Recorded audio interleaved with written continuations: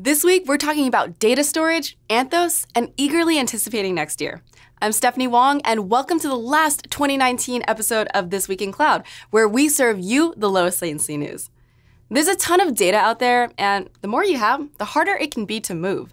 Google Cloud's storage transfer service can help you move terabytes of data from anywhere to the cloud.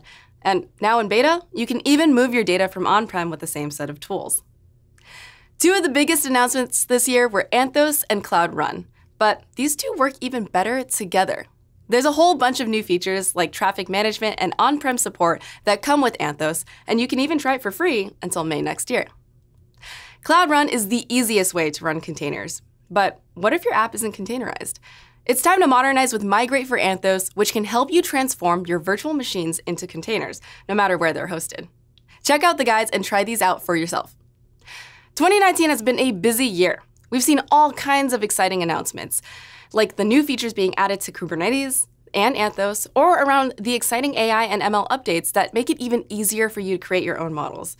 The busiest time this year was all around Google Cloud Next, with different talks, demos, and lots of great showcases, and I'm sure next year will be even busier. On behalf of the team here, thank you for checking out This Week in Cloud to stay up to date with the latest. 2020 has so much more to come, so stay tuned.